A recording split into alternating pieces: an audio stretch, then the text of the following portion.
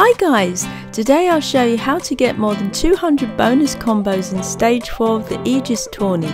But first, here's the new holiday helm in the store for both Siris and Isa, so go get it as it's only available for a limited time. So turning to the Aegis tourney and we're on to stage 4 and it's bonus combos for 1000 chips and the top 40% go through to the last stage.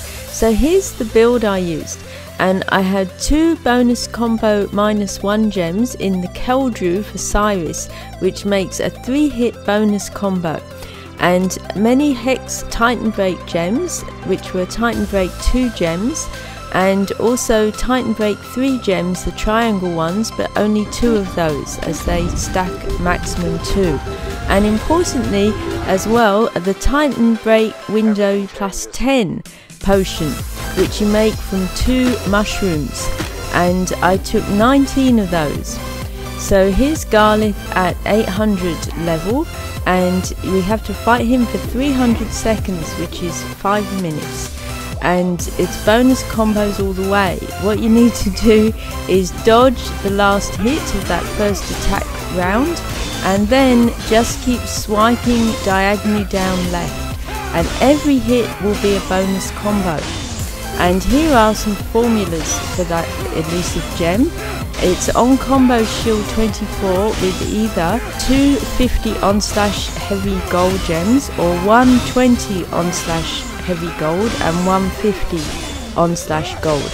And the 50 can be between 50 and 60 and the 20 can be between 20 and 30. Also I found on Mega Hit Damage Titan 2500 with a su on break supercharge 5 to 7% with an on get hit supercharge 2 to 3% has worked for me.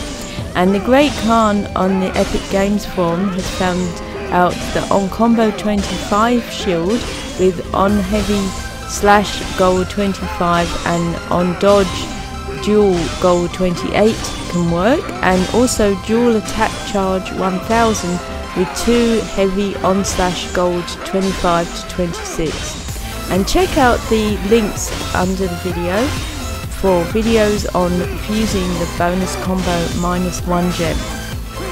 So this is the best build and there's an extra attack at 30 seconds with 19 potions.